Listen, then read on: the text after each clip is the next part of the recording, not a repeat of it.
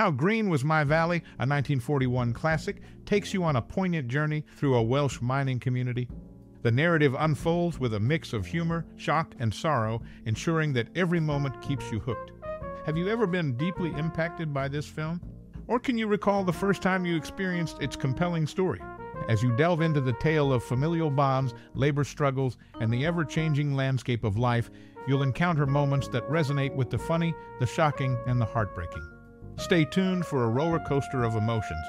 Now, we're curious what's your most cherished memory or personal experience related to this timeless cinematic gem? We would love to hear your stories and memories in the comments below. Get ready for a journey that transcends time and place as How Green Was My Valley unfolds its narrative layers. Share your thoughts and let the conversation begin. How Green Was My Valley is a film that hasn't received the recognition it deserves despite being a compelling portrayal of a working class family's life at the turn of the 19th century in the harsh mining communities of the Welsh Valleys. The movie touches on the political theme of the conflict between miners and their employers, a factor that may have led to its underappreciation by some critics. Additionally, the sentimental portrayal of the idealized working class family, though now unfashionable, doesn't diminish the film's powerful depictions. Directed by John Ford, the film effectively immerses the audience in the life of a small community constantly on the edge of disaster. It has been regarded as one of the most powerful emotional experiences, often evoking a strong emotional response.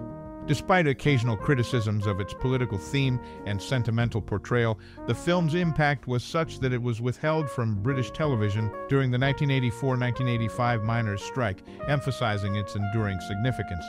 On the other hand, there are dissenting opinions. Some viewers, like those living near the Welsh border, have expressed disappointment in the film's depiction of Wales. They argue that the mostly American actors attempting Welsh accents that often sound more Irish or even pseudo-Swedish create a disconnect. The film's attempt to avoid looking like a Western sometimes leads to unintended associations, making it difficult for those familiar with Wales to fully embrace the story.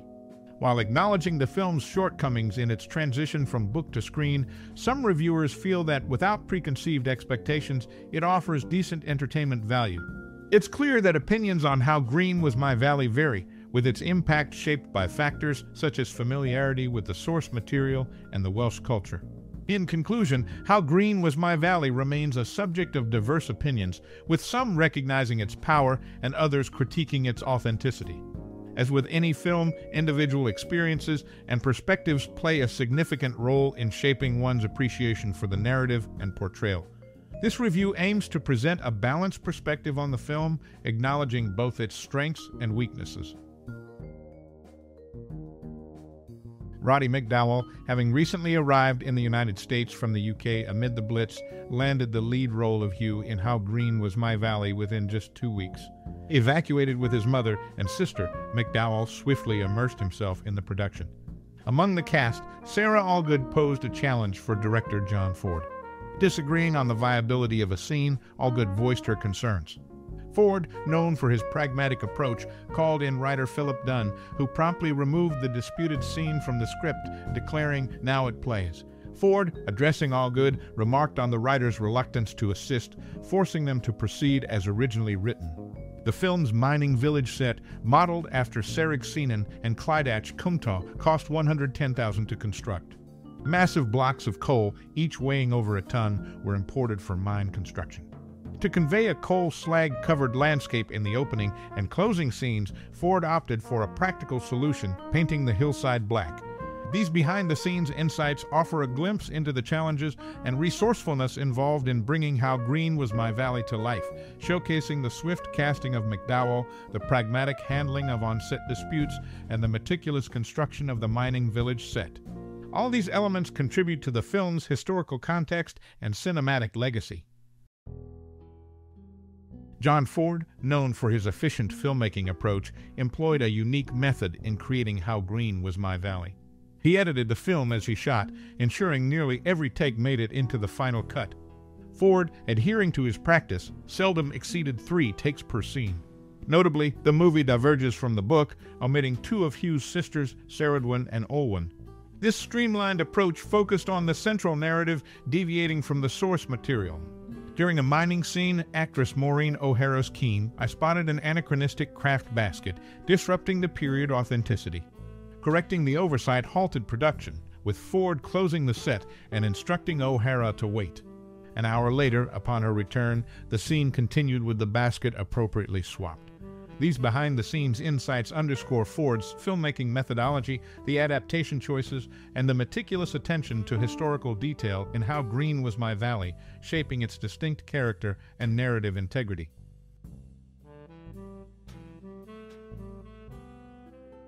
Donald Crisp and Sara Allgood seamlessly embodied the roles of parents in the 1941 film.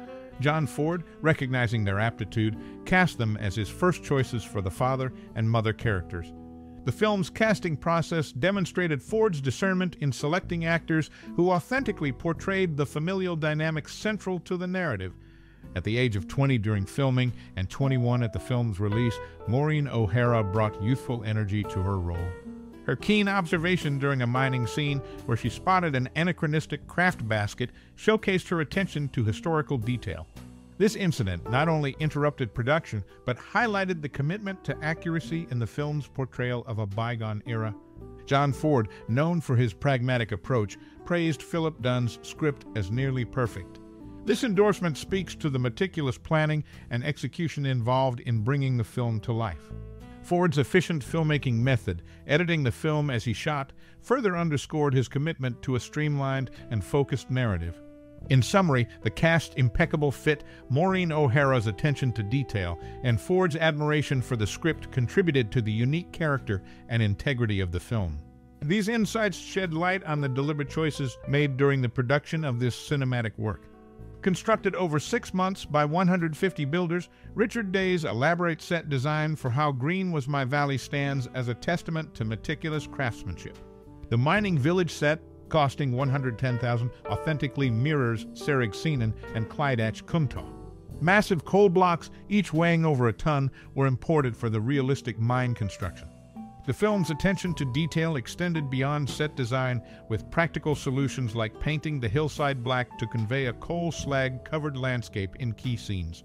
The film's authenticity is further emphasized through the incorporation of genuine Welsh tunes in the soundtrack. Male voices singing traditional Welsh songs, including the iconic Men of Harlech at the opening, contribute to the movie's cultural richness. These musical elements add depth to the narrative, immersing the audience in the Welsh setting. Earning an impressive 10 Academy Award nominations, How Green Was My Valley set a record as the most nominated film of its year. This recognition underscores the film's impact and cinematic significance. John Ford's unique approach to filmmaking, editing the film as he shot, further solidified its streamlined and focused narrative, deviating from the source material to highlight the central storyline. In summary, how green was My Valley's construction, authentic soundtrack, and record setting nominations encapsulate its historical significance and cinematic prowess. These behind the scenes insights offer a glimpse into the dedication and creativity that shaped this impactful film. Darryl F. Zanuck secured the film rights to How Green Was My Valley for 300,000, a significant investment reflecting the anticipation surrounding the adaptation. The novel's author, Richard Llewellyn, initially claimed personal ties to the Welsh mining community, but investigations revealed otherwise. Born in England, Llewellyn gleaned insights from conversations with local mining families, questioning the authenticity of his proclaimed connection to Wales. Alfred Newman's acclaimed score for the film showcased Welsh melodies and featured numerous Welsh singers in Southern California. However, the principal love theme, highly praised, drew inspiration from the traditional Irish folk song The Sixpence, diverging from the expected Welsh influence. This musical choice added a unique dimension to the soundtrack, enriching the film's auditory experience. These behind the scenes details unveil the financial commitment, questionable authorship claims, and the unconventional musical choices that shaped How Green Was My Valley. The intricacies of adaptation, coupled with the blend of Welsh and Irish influences, contribute to the film's distinctive narrative and cultural resonance.